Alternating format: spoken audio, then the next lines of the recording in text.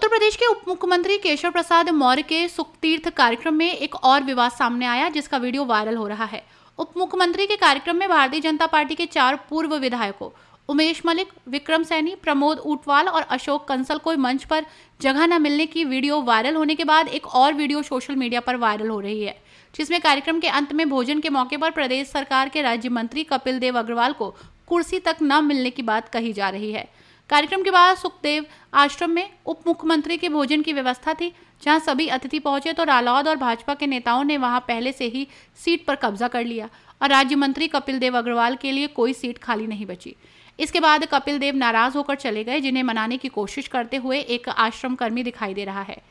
मीरानपुर उपचुनाव कभी भी घोषित हो सकता है, लेकिन रालौद से गठबंधन के बाद एनडीए में सब कुछ ठीक नहीं लग रहा।